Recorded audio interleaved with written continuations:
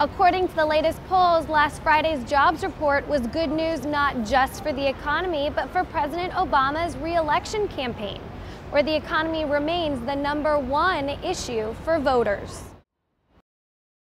After the break, I'll tell you why stopping at a coffee shop on your way to work is good for your health.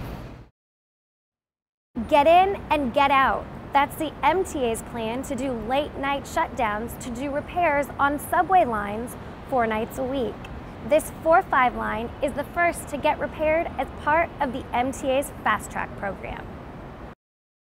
Good news for all you coffee lovers. A study out of the University of Missouri said that stopping for a cup of joe at a coffee shop like this one is good for you.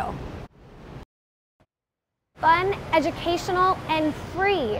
That's right, New York City offers many free options for parents who want to teach their children like here at Federal Hall, which marks the place where George Washington took the oath of office.